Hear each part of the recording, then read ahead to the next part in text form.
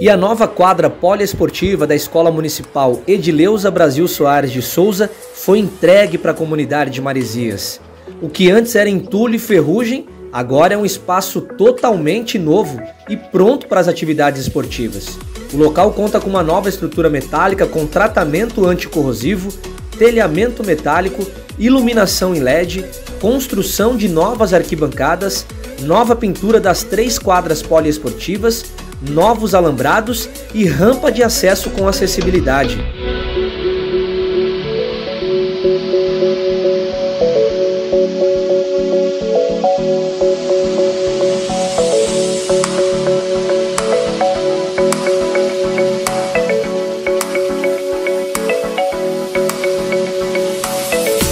Os trabalhos não param.